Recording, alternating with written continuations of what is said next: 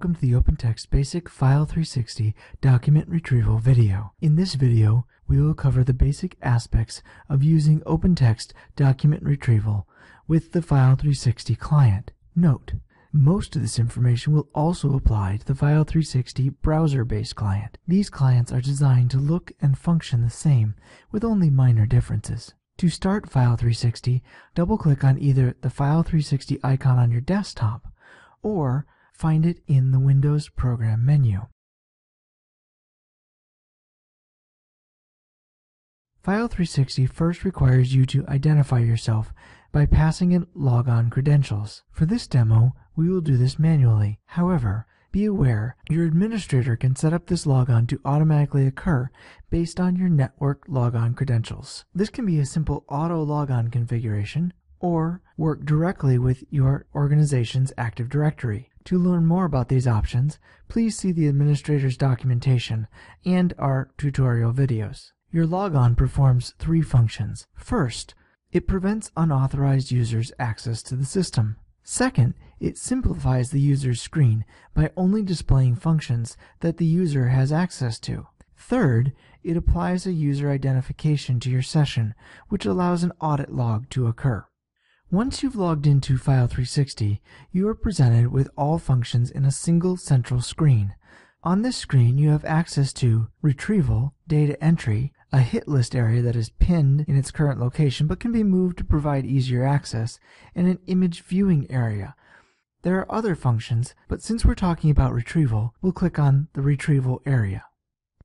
Here we are presented with the applications and templates we have access to. Applications are collections of documents with common indexing needs that your admin has defined. These are typically divided up into business functional areas such as AP and HR, but this is up to your organization to design. Templates are custom search forms to meet your specific needs within or between applications. Templates are to be used to add logic and filtering to your searches. Multiple templates can be created to allow various retrieval and report functions to be more easily archived. When you've selected an application and template combination, you are presented with a search template. Within a template, you have the flexibility to perform various actions which will aid you in narrowing your search. For example, you can use logicals and conditional operators. Some of the conditional operators include equal to, not equal to, greater than, less than, greater or equal to, less than or equal to, or a range, allowing you to search for ranges of values. Note, a default condition is assigned when your administrator created the template for the most common usage. When entering multiple field value, the AND OR logic is used to define the value in your search. Along with these logicals and the index values themselves, you can use the standard wildcards such as the asterisk and question mark in your searches. Note, it is not necessary to use a wildcard value in each field. A default wildcard will be displayed as you enter your information for the other fields. Now that you have all the values that you wanted to enter, you can submit your search. To do this, you can hit Enter or click on the Search button. Now that you've searched, all document indexes matching your criteria are displayed. They will be sorted and grouped as you specified. You can set an initial maximum value of, of, document indexes to be displayed. If that value is reached, you can request the remaining items to be displayed or dismiss this message. After the hit list is displayed, you can perform further sorting, define filtering, define groups. These items can be set as default or used for only one session.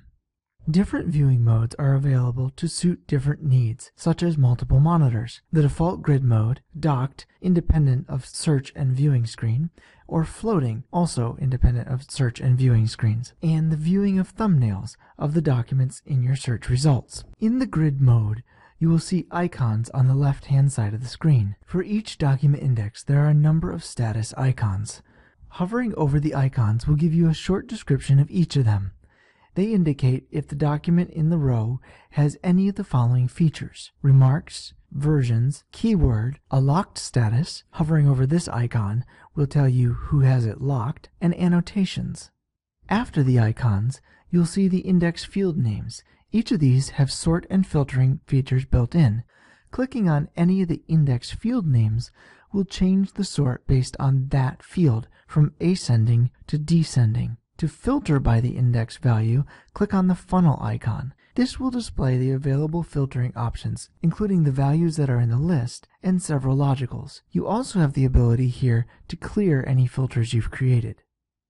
Additionally, you can create prioritized sorting and filtering by dragging the index field name headers into the grouped by area. An additional option for manipulating the hit list results is using the output options. These can be found under the search criteria. The output options include the option to change your maximum number of returns, include expired documents, this is an administrator function only, the ability to append the current hit list, the ability to add and remove the fields that are shown, add sorting, and sort ordering to results. To add or remove fields, simply check or uncheck the box next to the field name. By default, the fields that were defined with your template will be checked. To add sorting to the hit list, choose the type of sorting and then add a sort order so that it will sort items by group, for example, by order number first and then by PO. There are many useful fields you can add to your search results, like number of pages, and the application it came from, if you have a template that searches across multiple applications. Adding things to the search results means that more things have to fit on the screen. So if there are things that you don't use, you can remove them from the search results to make more room. Once you've made your changes, hit search and the new hit list will appear with the changes you've made. If you don't like the changes or want to return to the default, simply click Reset. By default, any changes you make in the output options are for the current session only. Once you log out and back in again, they will return to the default settings. However, you can save the settings that you like by clicking on the hit list actions and choosing Save Hit List Layout. These will then become your default settings. When you have your hit list sorted and have found the documents or groups of documents that you are looking for, it is time to view them. Clicking on the plus icon on the hit list shows you a preview of the page along with a tab to view previous versions of the document.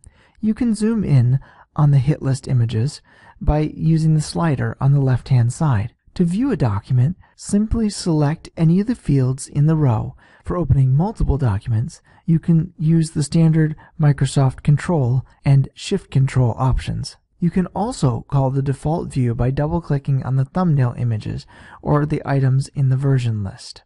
The OpenText File 360 Viewer is a full-function viewer that offers you all the standard viewing options, including but not limited to